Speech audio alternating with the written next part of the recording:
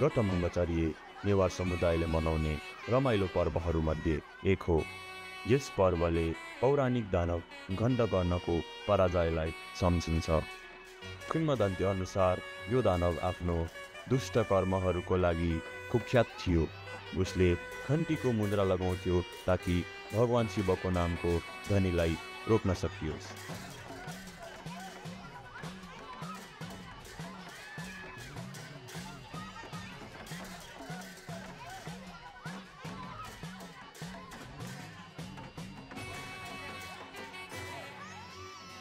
किंवदन्ती अनुसार मानिसहरू त्यस दानवको अत्याचारबाट आतङ्कित थिए। गत मङ्गलचार्यको दिन सबै मिलेर युद्ध गरी उक्त दानवलाई पराजय गरे। त्यस दिनको सम्झनामा पराल घाँस र बाँस प्रयोग गरी दानवको पुतला बनाई चोकमा राखिन्छ।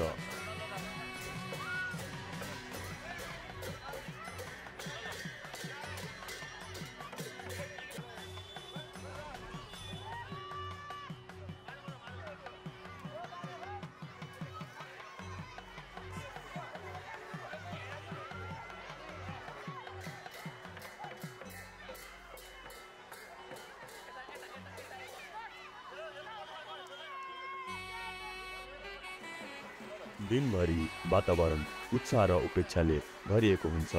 साँझमा पर्व नाटकीय मोड लिन्छ पुतलालाई नजिकैको नदीमा तानिन्छ जहाँ यसलाई जलाएर अन्तत पानीमा फालिन्छ जसले समुदायबाट खराबीको शुद्धिकरणलाई जनाउँछ।